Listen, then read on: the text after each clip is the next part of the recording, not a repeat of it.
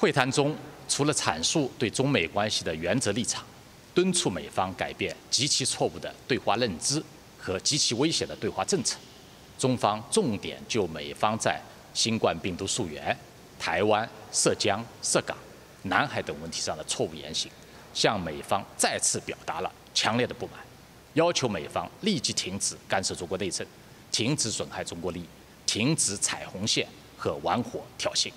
停止打着价值观幌子搞集团对抗。